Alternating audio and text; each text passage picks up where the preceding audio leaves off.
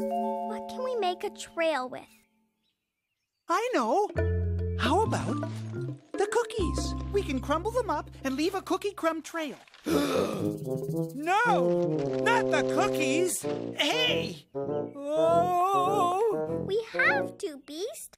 You don't want to get lost in there, do you? No,